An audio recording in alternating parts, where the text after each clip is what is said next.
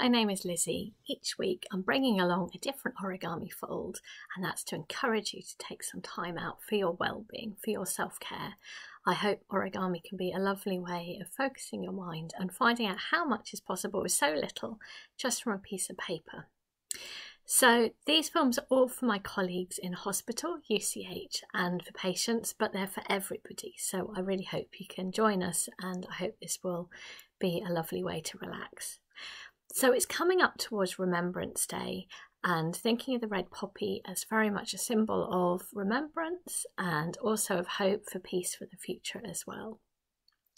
They have, it's a way that we can show our support to the armed forces community and um, that, that really came about from after the World War One, um, the very bleak fields that were desolated after war, um, the first the first plants that really emerged were the poppies. And so out of that bleak landscape, these amazing red poppies appeared. And it feels like such a beautiful symbol of lives that were sadly lost and a way of remembering.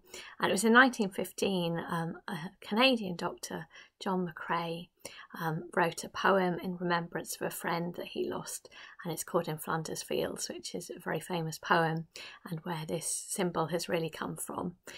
So this um, this fold is very much to support that time, but not in any way um, to prevent you please going and donating um, and buying yourself a poppy um, yourself or donating online to the Royal British Legion.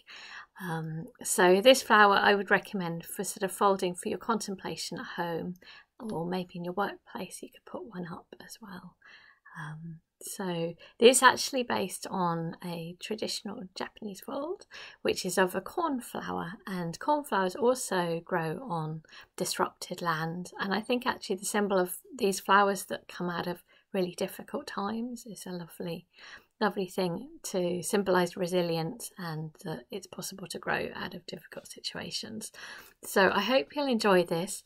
It's um, it's got a lovely kind of um, fold to it that it sort of curves up as well so it's a really nice shape. You can see you can hold it at the back and it sort of sits sits there very nicely as something that you could have as a little display at home.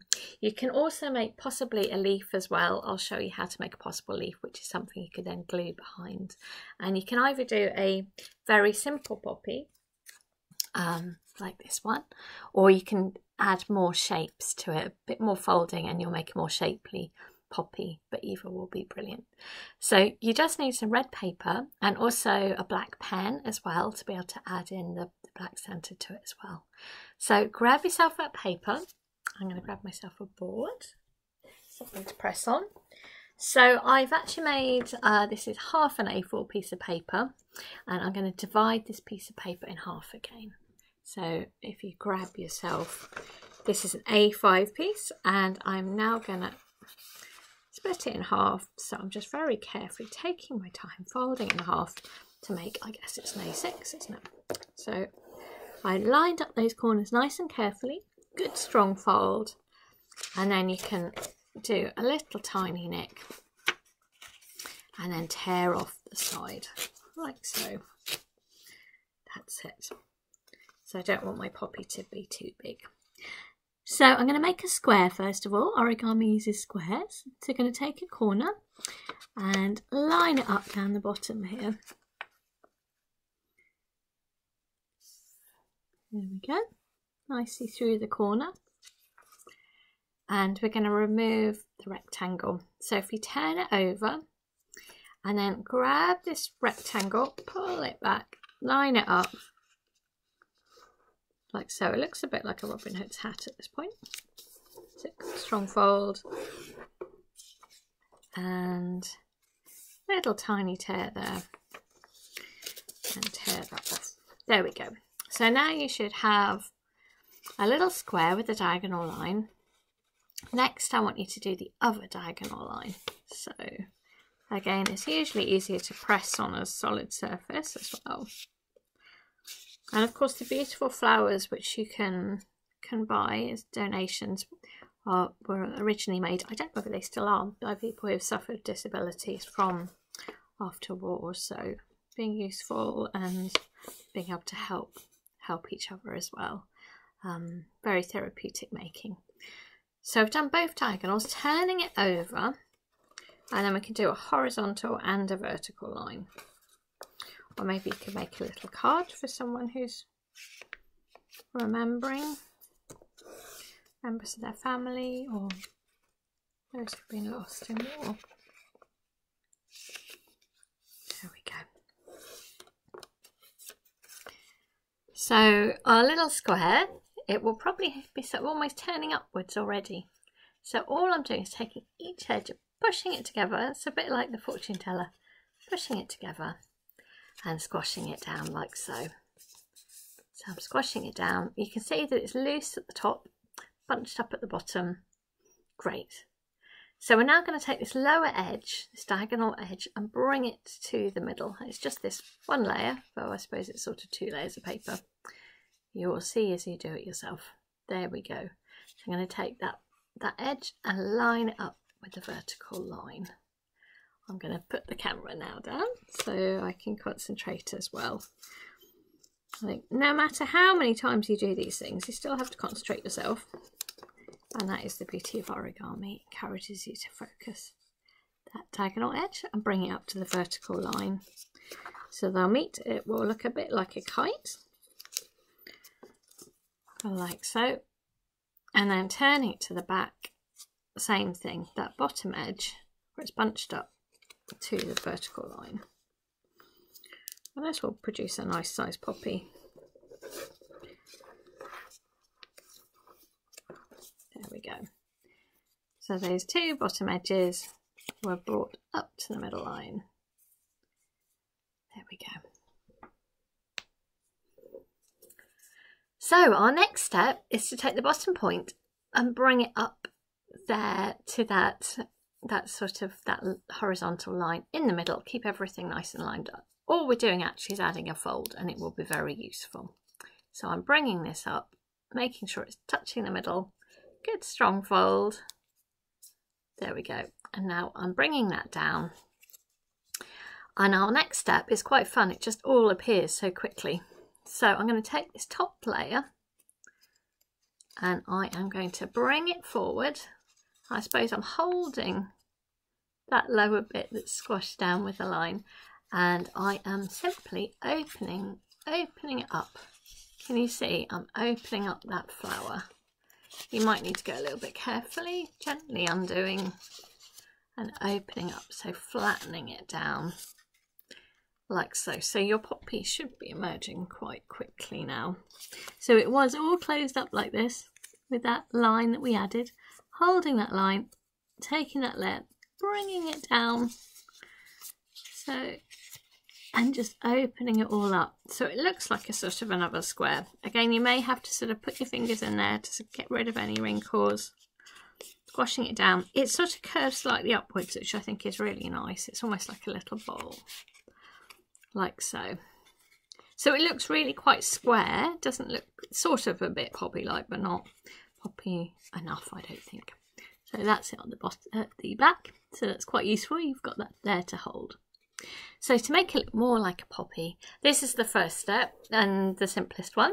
So you're going to take the top and just fold it back and squash it down like so. And you're going to do that for each of these corners. That's it. And it's just making it a little bit, a little bit less pointy and it somehow looks a lot more poppy-like that way. And what you could do next is add some black into the middle and it will already be a poppy. Now after this I'm actually going to show you how you can make it even more sophisticated and it's completely up to you. You can have done this and it's it's lovely as it is so really don't feel that you do need to do more but I'm going to show you if you wanted to go up a little bit more make it a bit more sophisticated you could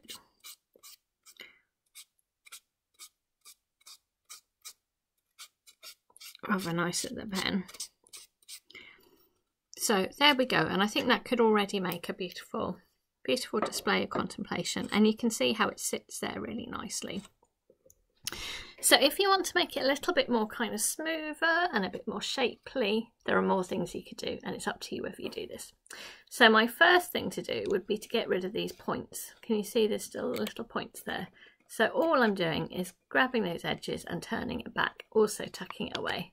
So on the back, this is how it's looking.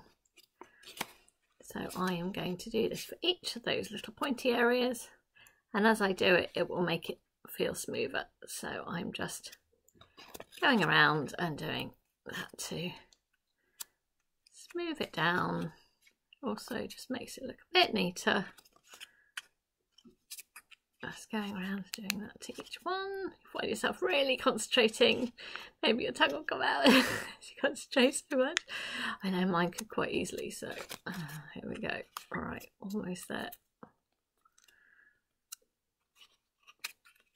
I think I've done that now for each of them. So that's looking a bit smoother, isn't it? That's what it looks like on the back. So you can maybe make the edges of the petals a little bit more divided so it goes in a bit. Now to do that it's a little bit trickier because if you turn to the back you'll see for each side there's always one that sort of overlaps more. Can you see? There's one which comes over and one that's tucked underneath. So in order we're going to do a little fold to bring it in between the petals. So you're going to have to slightly, slightly, slightly unpick it and the one that's coming over the top is the one that you need to start by folding down. So I'm going to take this, definitely have to concentrate quite hard.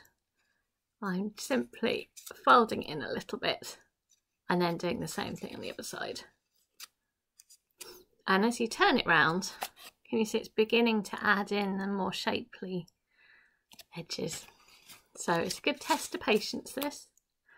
Uh, again, you can see the one overlapping would be the one that I would start with. So just gently, gently, you have to be really careful or else the paper could rip. Again, folding that down. Oh, I have to concentrate so hard myself.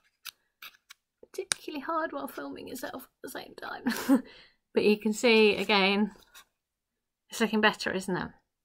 So this is something that you can do to improve your I might do it so you can see from the front what I'm doing. Yeah, actually this way I can actually see what I'm doing, but I guess you can't see what I'm doing at the back. But I hopefully you got the idea. Start with the start with the one which is overlapping and just gently fold it in and then the other one. So you should end up hopefully with a quite shapely poppy. Now if you'd like to make a leaf this is something else you could do. Again, more sophistication to your poppy. Um, so something like this, um, you'd need to then glue it on the back. I haven't found a clever way yet to, to put them together, but they will overlap nicely. And you can then, whoops, add some glue or tape and that will that would hold it together nicely. Whoops, wrong way around. There we go. So that's something you could do. I'll show you how to make the leaf. So grab yourself some green paper, smaller piece, just a small piece. I've just happened to have a little bit cut off. So I'm going to make a little square and then show you how to do that.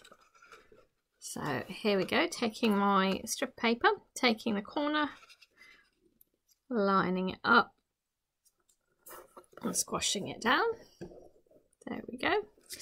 And again, we want to remove this strip so turning it over, grabbing this, bringing it back, lining it up. We're just making a square every time. And squashing it down. I hope while you're doing this you're okay, completely lost in folding, but also I hope you can use this to remember others. Hmm. Here we go. So I've got now a little square and I'm going to take a side and bring it to the middle line like so. I'm going to have to put the camera down again. See what I'm doing. There we go. And again, that top side, bring it to the vertical line. Like so. And then the bottom edge, again to the vertical line.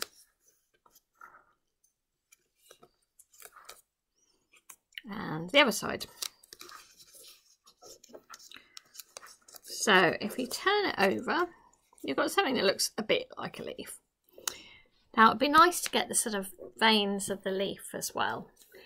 So to do that, we just close it inwards. It's kind of smooth front and back. And if you think about the direction of of the of the um, of the little creases in the leaf, so the veins. So we're going to fold it so it gives a line upwards, and then we kind of zigzag back and forth, all parallel to that line. It's very hard to explain into words, but I am first of all going to add a line. Oh, I think I definitely need to look down now. Here we go. So can you see I've made a sort of line which will go up in the direction of the leaf. And then I'm going to go take that and turn it over and then bring it back and I'm just sort of zigzagging it back and forth but just keeping it all lined up. So it ends up almost like a little flat line. So it ends up something like that. This is not exact, so don't don't worry. It's just a it's just a way of trying to explain how to make something which is a little bit more textured than just a flat leaf. So then if you open this up, we'll see what's happened. there we go. Can you see? It's a, uh, turn it to the smooth side. It's looking something like a leaf, isn't it?